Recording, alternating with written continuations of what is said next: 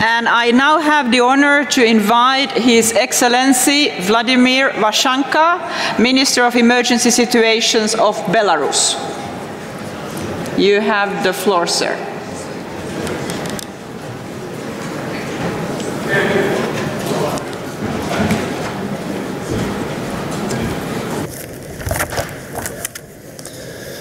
Уважаемые дамы и господа, дорогие друзья, прежде всего, огромное спасибо за предоставленную возможность участвовать в столь важном мероприятии.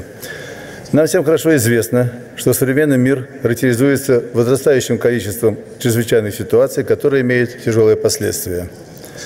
Территория Республики Беларусь, как и многих других стран, подвержена действиям различных видов опасностей природного и техновенного характера – все это свидетельствует о необходимости дальнейшего совершенствования системного подхода, обеспечивающего участие всех заинтересованных в решении проблемы предотвращения возникновения бедствий и катастроф, а также минимизации их последствий.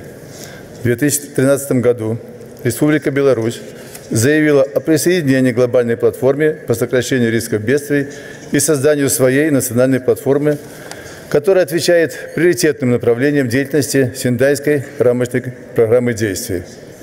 В настоящее время в нашей стране разработана и реализуется национальная стратегия по снижению риска возникновения чрезвычайных ситуаций на 2019-2030 годы, которая охватывает все секторы экономики, широкие слои общества и направлена на укрепление потенциала противодействия опасностям.